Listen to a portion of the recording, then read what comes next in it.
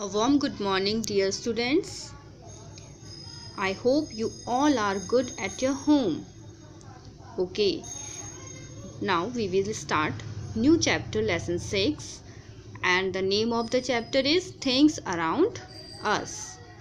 Children, there are number of different things we see around us.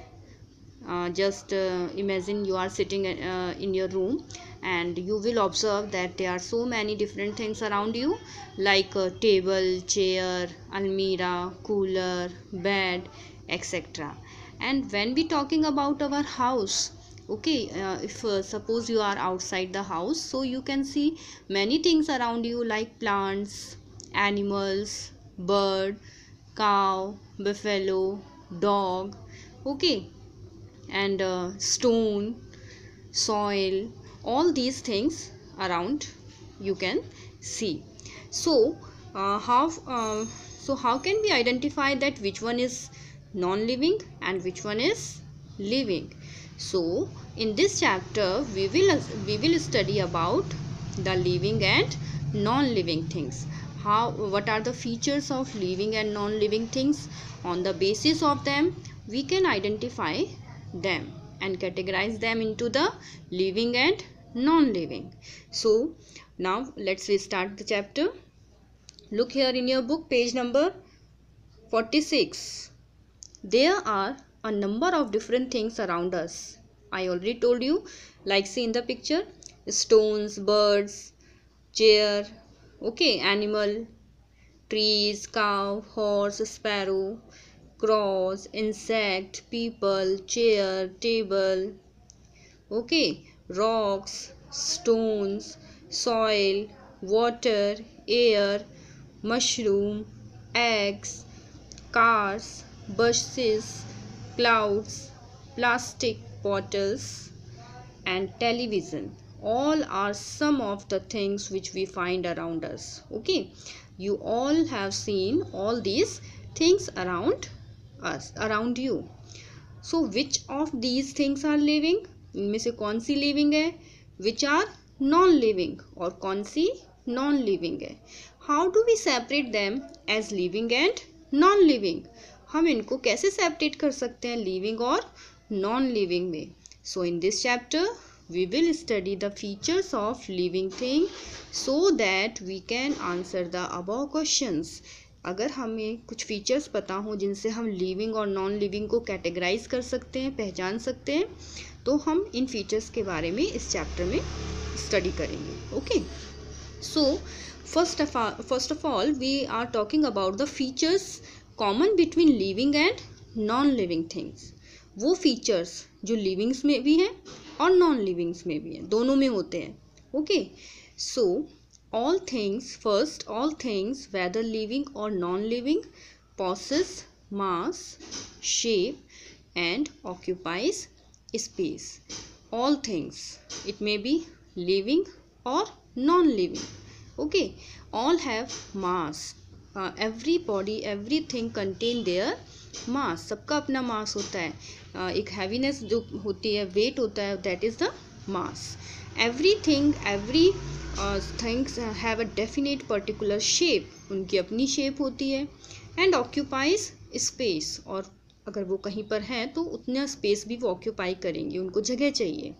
Okay so this is the common feature between living and non living thing all living thing whether living और non living possess mass shape and occupies space what it after then second feature they are made up of basic structural unit living things and non living things both are made up of basic structural unit it means वो छोटे छोटे unit से मिलकर बने होते हैं if you are talking about the living things they are made up of cell smaller unit is structure smaller unit is cell okay in case of living things living things में जो सबसे छोटी structural unit होती है, जिनसे उनकी body बनी होती है that is the cell and in in a non living things like a chalk okay जो नॉन लिविंग थिंग है, उनमें मॉलिक्यूल्स होते हैं. उनके स्ट्रक्चरल यूनिट क्या है, जिनसे वो बने होते हैं? That is the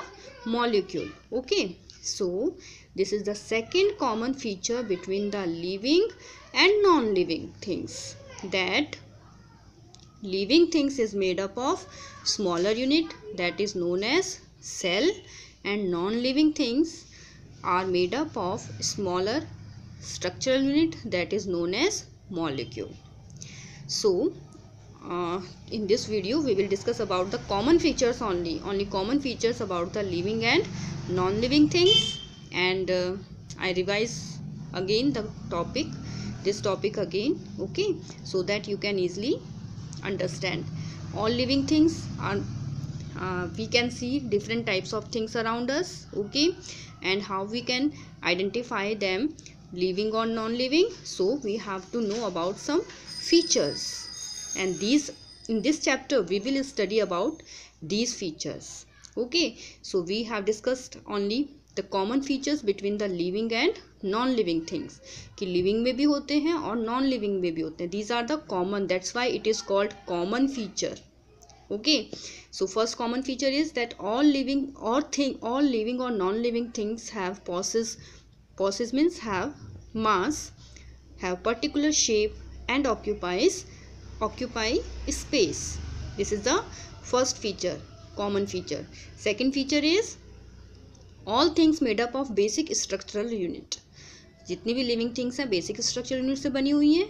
living thing के केस में in case of living things they are made up of cell smaller unit basic structural unit of the living thing is cell and the basic structural unit of the non living things is molecule okay so see the activity in this activity the aim is to observe cell under a microscope with the help of microscope we can uh, see the cell cell uh, cell is the basic structural unit of whose yes living things okay so we see observe the cell under a microscope so for this activity we take a onion onion you know very well onion प्याज जिसे बोलते हैं and uh, it is a plant okay plant की है ये तो plant is categorized in the living things किसमें categorize होता है ये?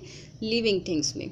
तो हम इसकी एक स्लाइड बनाएँगे और स्लाइड को फिर हम अंडर द माइक्रोस्कोप देखते हैं तो हमें उसमें सेल्स दिखाई देंगे। Okay so what is the procedure take an onion and cut into small pieces एक अनियन लेंगे और उसको छोटे छोटे थ्री फोर स्मॉल पीसेस में हम उसको कट ऑफ़ करेंगे।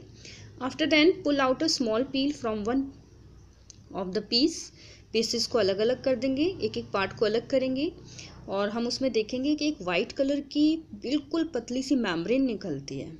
Put the peel on a glass slide उस बिल्कुल वाइट कलर की जो पतली सी थिन मेम्ब्रेन होती है, उसको हम ग्लास स्लाइड पे रखेंगे। ग्लास स्लाइड एक कांच की बनी हुई रेक्टेंगुलर शेप की स्ट्रक्चर होता है।